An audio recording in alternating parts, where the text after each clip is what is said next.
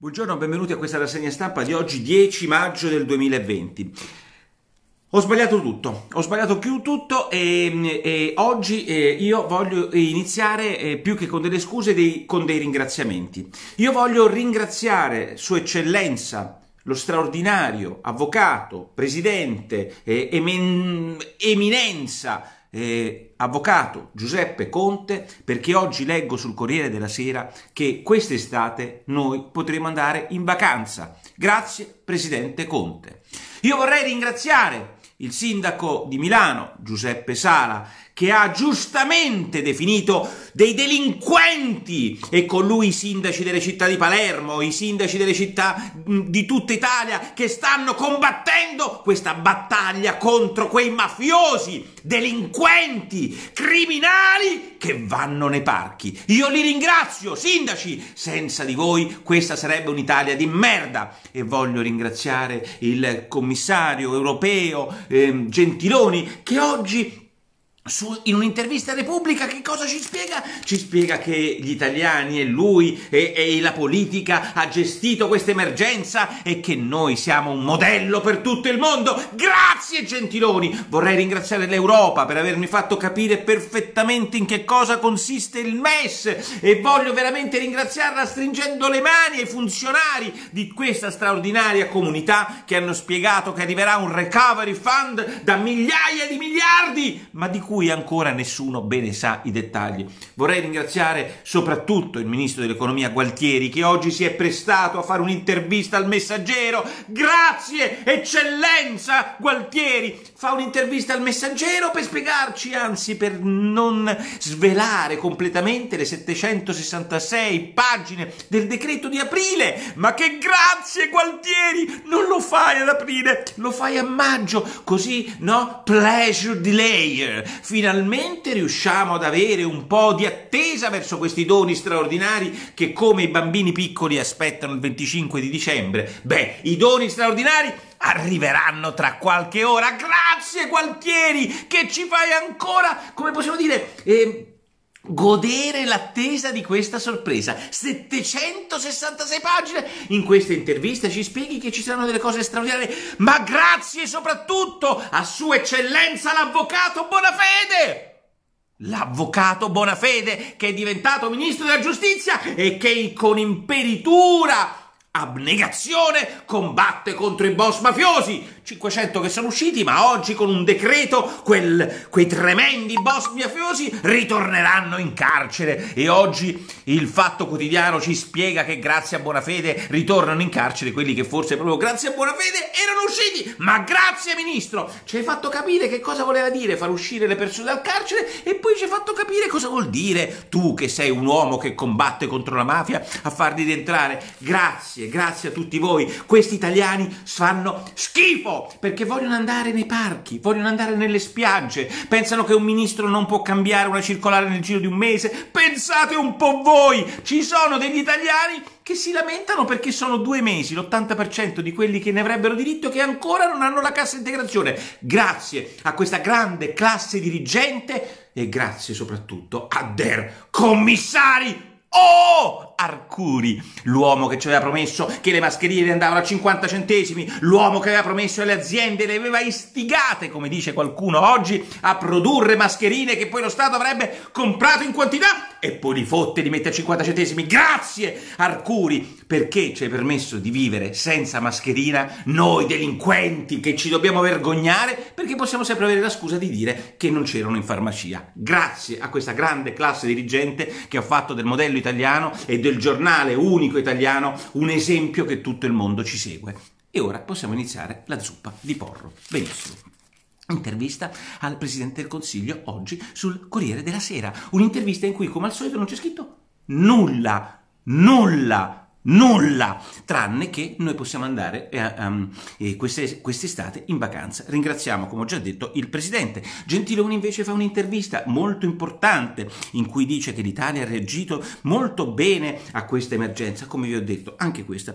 Beh, poi soprattutto sul decreto fiscale di, di, di, di che stiamo aspettando ad aprile, ma qui c'è di tutto, 766 pagine, tutti i boxini. Intanto mi, mi sono sbagliato, vi avevo raccontato che c'era questo decreto sulle, come si chiama, sulle edilizia che era straordinario. Non è così, non è così. Insomma, anche una delle poche cose buone, cioè le ristrutturazioni edilizie, sono riusciti a buttarle in vacca. L'hanno buttata in vacca. Potranno farle le certificazioni edilizie addirittura al 110%, ma soltanto i condomini, le IACP, cioè i grandi strutture. Ma voi che avete il vostro quartierino, il vostro appartamentino, col cavolo che lo fate se il condominio non decide di fare eh, un miglioramento. Quindi questa cosa può valere, varrà per i condomini. Io sono contento e meglio di nulla, ma comunque per voi che avete la vostra, sì, forse per le villette unifamiliari al mare potrebbe andare, però insomma stiamo parlando di una cosa molto depotenziata rispetto a quello che pensavo io nei giorni scorsi. Nel frattempo il Sole 24 Ore ci spiega che stanno litigando perché non gli bastano i 55 miliardi, ne vorrebbero altri 6-7 e questi sono miliardi tutti buttati nel cesso. Perché, e questo qualcuno dovrebbe avere il coraggio di dirlo, io lo dico e me ne fotto, se tu dai 500 euro di bonus vacanza, come ci ha spiegato Bo eh, Bocca, eh, che è il presidente della Federalberghi, magari hai speso un miliardo di questi 55 hai dato 500 euro, di cui 50% di credito fiscale, 50% l'albergo e poi lo devi mettere nella tua dichiarazione di redditi, una porca puttana di complicazione che risolve il problema? No, non risolve niente, è soltanto per quelli che hanno le l'ISE basso, cioè hanno pochi soldi, che secondo loro potrebbero rimettere in piedi il Cala di Volpe, potrebbero rimettere Capri, potrebbero rimettere in piedi Palermo, potrebbero rimettere il, lo Splendido di Portofino, ecco, secondo loro con i 500 euro l'offerta turistica italiana potrà godere di qualche cosa. È una mancia elettorale che va benissimo, ma per gli autostoppisti non va bene per rimettere in piedi un'industria culturale del turismo come quella italiana che dovrebbe avere miliardari che vengono qua a cui gli fai pagare 100 euro. Sapete che cosa? La mancia, non 500 euro di credito fiscale, 100 euro la mancia. E noi pensiamo di dare con 500 euro rimettere in piedi il, il sistema turistico italiano. Sono dei drogati, sono dei drogati se pensano che questo sia il caso. Ma poi andiamo avanti. Ci sono tantissime altre notizie, la cosa di Bonafede è la più bella. Cioè Bonafede fa il decreto ieri sera in tutta furia per rimettere in galera quelli che lui stesso con una circolare aveva tolto dalla galera. E sapete come fa a rimetterli in galera? Beh, è molto semplice, lo spiega la Milella oggi. Bisogna verificare ogni 15 giorni che quelli che lui ha messo fuori galera ci siano le condizioni perché stiano fuori galera. Quindi evidentemente li hanno messi fuori dalla galera. E come li hanno messi fuori dalla galera? Con un decreto che aveva fatto, con una circolare che aveva fatto il suo ministero. Ragazzi, questa è una roba da matti, soltanto il fatto quotidiano che non ha vergogna nella sua difesa del governo riesce a titolare il governo approva il decreto e l'emergenza si ferma. Vai Wonder Woman! Adesso altro che DJ Fofò, il nostro ministro della giustizia, lui è Superman perché il governo approva il decreto e l'emorragia si ferma. L'ha approvato ieri sera alle 21. Toc toc! Buona fede l'ha approvato ieri sera alle 21 e già si è fermata l'emergenza. Questi sono proprio capito. Questi veramente non è il pusher che devono cambiare, devono cambiare proprio i caratteri con i quali scrivono. Fantastico Intanto la, ehm, eh, come si chiama? Eh, non, non, non, ci potete credere. Non, guardate, non ci potete chiedere, non, ci si può credere.